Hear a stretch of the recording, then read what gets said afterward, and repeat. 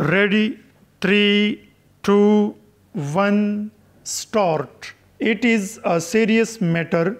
The due date for approximately 73,000 of the over half a million pregnant women affected by the floods is this month, while around 577,000 others are set to give birth later. Full stop with access to medical facilities and personnel, including birth attendants, cut off at many places, it is uncertain how they and their families will cope at the time of delivery and after full stop even under normal circumstances access to healthcare for women including those who are expecting remains a big challenge. In Pakistan full stop new paragraph the statistics speak for themselves full stop the maternal mortality rate according to the United Nations Population Fund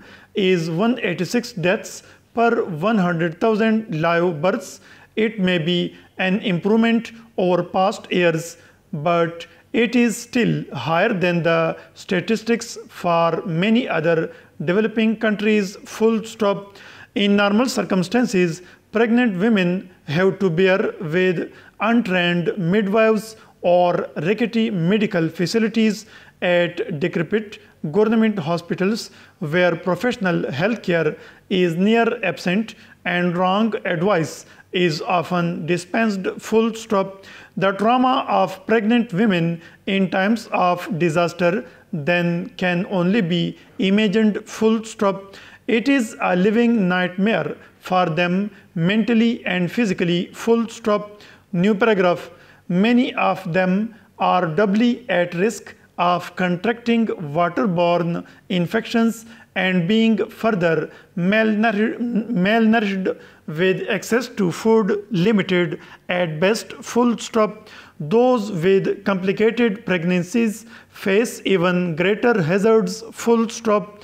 Besides the danger to the women themselves there are also concerns for the health of the newborn infant full stop Babies born in these appalling circumstances will show the effects of poor nutrition and may contract birth-related infections. Full stop.